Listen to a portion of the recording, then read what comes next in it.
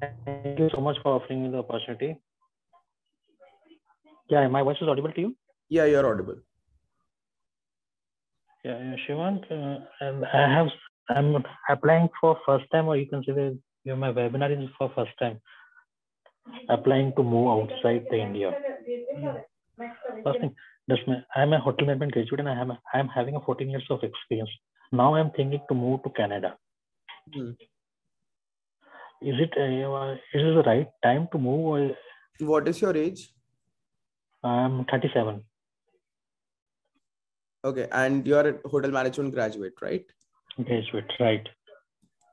Uh, sir, the only way you can reach out is through Canadian Experience class because uh, Saskatchewan might pick you up, but they are not giving draws. How? So- I'm not getting- They are not giving draws to hotel management right now.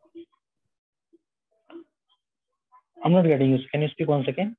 I'm saying that like your score is very li- like because of the age part and bachelor's degree only, your CRS won't be that great. But because of your years of experience, Saskatchewan PNP becomes one such option, but they are not inviting people right now. So the only option that you have is that you Okay. figure out a job, go on work permit, stay there for one year, come under CC class, get your PR. No, no. I want, uh, Shivank. I want. To, I I wish to apply for work permit.